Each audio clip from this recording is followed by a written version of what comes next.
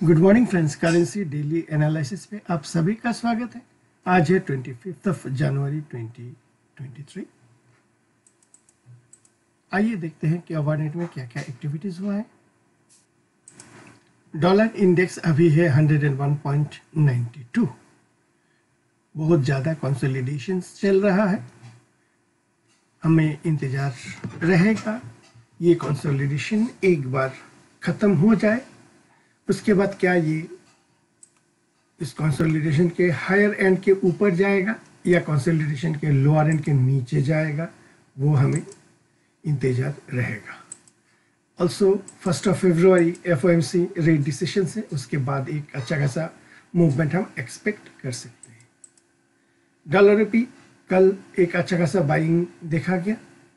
It traded in between 81.40 on the lower side and 81.76 on the higher side although ये अभी आपका 81.52 दिखा रहा है but actually our market is currently trading around 81.70 72 that being the case what we expect हमारा जो immediate resistance है वो है 81.90 से 82.10 के बीच में ये 20 पैसे का जो जोन है यहाँ पे अच्छा खासा रेजिस्टेंस लेने का संभावनाएँ हैं हायर प्रोबेबिलिटीज है।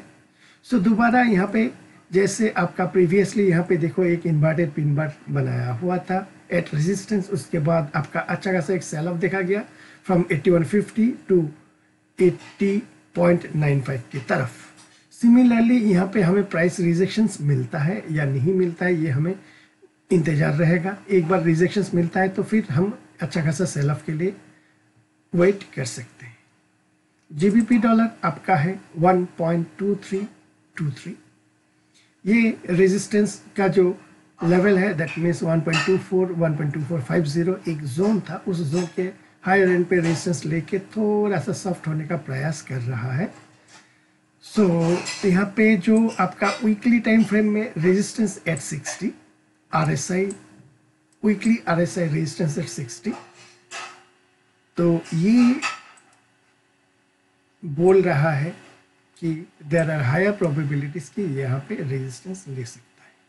That mean the case we may expect some sell off towards 1.21 1.2150 in coming weeks ये हम एक्सपेक्ट कर सकते हैं। जीबीपी आईएनआर पे देखते हैं। जीबीपी आईएनआर आपका है 100.64 ये भी आपका रेजिस्टेंस रेंज शिफ्ट कम रेजिस्टेंस ले रहा है। यहाँ पे यहाँ पे जब ये ट्रेंड लाइन सपोर्ट के नीचे क्लोज दे देगा on a daily basis then we can expect some sell off air euro dollar अभी है 1.0890 ये, यहाँ पे अच्छा खासा तेज़ी है, लेकिन थोड़ा सा टाइम पास हो रहा है। जैसे डॉलर इंडेक्स में कंसोलिडेशन छोटा छोटा candle and consolidation similarly higher end पे आपका एक छोटा छोटा कैंडल फॉर्म हो रहा है।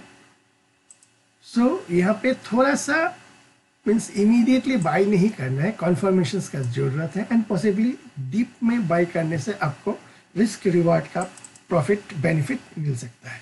ये आई पे अपना जो resistance R S I daily R S I at sixty resistance के तोड़ के ऊपर चला गया है।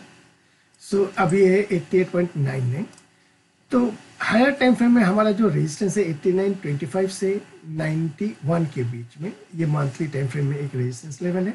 So that mean the case although आपका weekly is bullish daily has turn into bullish but monthly is also above 60. But ये जो रेजिस्टेंस है, आपका 89.25 से 91 के बीच में, ये थोड़ा सा हायर टाइम फ्रेम में रेजिस्टेंस का एक्ट कर सकता है। That be the case lower time frame will try to take euro dollar higher but higher time frame is expected to offer the resistance around 91.00 that being the case यहाँ पे एक room है 89 से 91 के बीच में प्राइस एक्शंस का। So buy dip may be considered in this currency pair dollar yen आपका अभी है 130.20 हमारा जो एक्सपेक्टेशन से ए ट्रेंड लाइन रेजिस्टेंस के ऊपर क्लोज देना एंड उसके बाद फॉलो थ्रू करना। अगर ये ऐसा होता है तो हमारा जो नेक्स्ट टारगेट हो सकता है, वो है 134 इसी का हमारा इंतज़ार है। अभी भी देखो फ्रॉम ट्वेंटी फ़र्स्ट अक्टूबर हमें यहाँ पे strong bullish candle on the trend line दिखा नहीं है। सो so, हमें क्लोजली मॉनिटर करना है कि क्या हमें एक स्ट्रॉन्ग बुलिश कैंडल मिलता है या नहीं। प्रीवियस एग्जांपल आप देखो यहाँ पे एक सपोर्ट लाइन था इस लेवल पे। इसको ब्रेक करने के बाद हम सेल ऑफ़ एक्सपेक्ट कर सकते थे। एंड यहाँ पे एक ये कैंडल देखो, एक स्ट्रॉन्ग नेगेटिव कैंडल दिया था breaking the trend line support उसके बाद थोड़ा सा पुल बैक दिया एंड सेल ऑफ़ हो गया। सो इस टाइप का हमें एक strong bullish candle to close above the trend line हमें चाहिए एंड उसके बाद एक फॉलो थ्रू चाहिए। ये N I R sixty two point seven two ये क्लोज दिया है ट्रेंड लाइन सपोर्ट के नीचे, लेकिन फॉलो थ्रू नहीं मिल रहा है। हमें फॉलो थ्रू बहुत ज़रूरी है। उसके बाद ही हम एक अच्छा खासा सेल ऑफ़ एक्सपेक्ट कर सकते हैं, क्योंकि यहाँ पे सीरीज़ ऑफ़ डाइवर्जेंसेस है।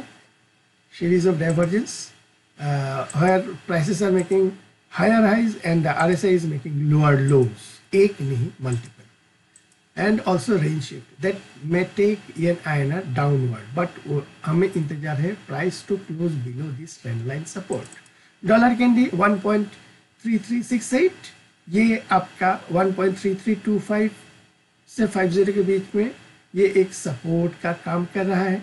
एक बार ब्रेक हो जाए then we may expect our much awaited target that is 1.3200 से 1.3225 उसके बाद, इस लेवल के बाद, अगर फर्दर जो हमारा नेक्स्ट टारगेट है, वो है 1.28 लेकिन उसके लिए हमें इंतज़ार है। इमीडिएटली हम इसके लिए टारगेट नहीं करेंगे। पहला टारगेट 1.28 1.28 सॉरी 1.32 1.3225 के, इसको कन्विंसिंगली ब्रेक करना चाहिए। फिर हमें प्राइस सेक्शंस का इंतज़ार रहेगा for a target course 1.28 Aussie dollar 0.7085 यहाँ पे अच्छा खासा स्ट्रेंथ दिख रहा है, जो इमीडिएट रेजिस्टेंस था, आपका 7050 से 7125 उसका हायर एंड के तरफ़ मार्च कर रहा है ये।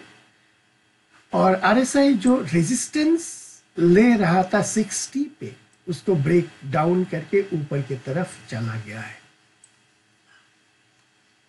सो इमीडिएट रेजिस्टेंस जो 7125 है उसको क्या ए, बहुत आसानी से ब्रेक करके ऊपर जाएगा? या नहीं हमें इसको देखना है।